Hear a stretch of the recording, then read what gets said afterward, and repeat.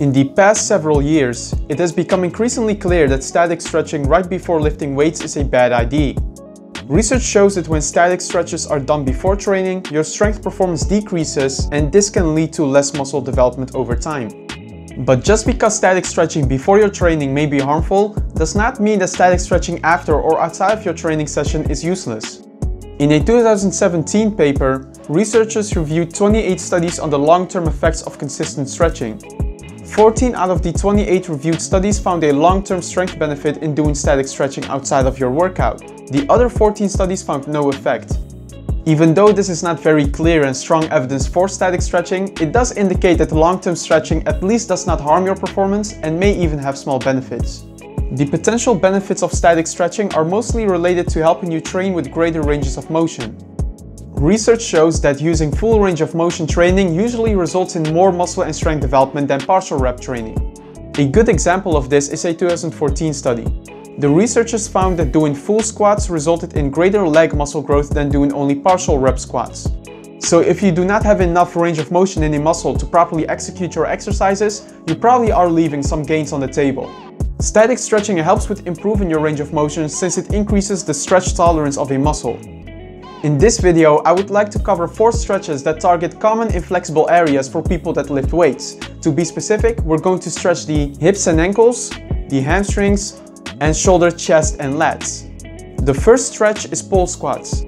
This helps mostly stretch your ankles and groin, which are common limiting factors during a squat. With this stretch, you squat down as deep as you can while holding on to a pole and actively look for mobility restrictions.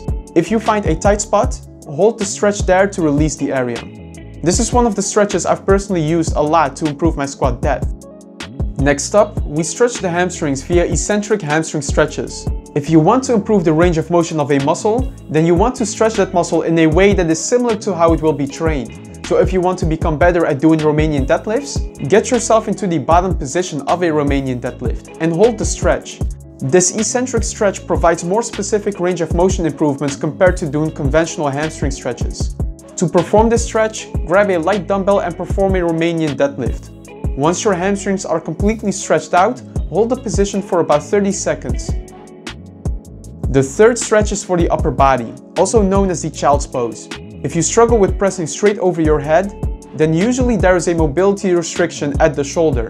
To allow your shoulder to travel back further, this child pose stretches your lats, chest and shoulders. It also stretches the low back to some extent.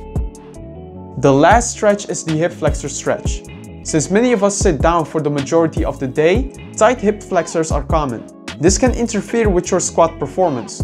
The hip flexor stretch shown here helps release some of that hip flexor tightness.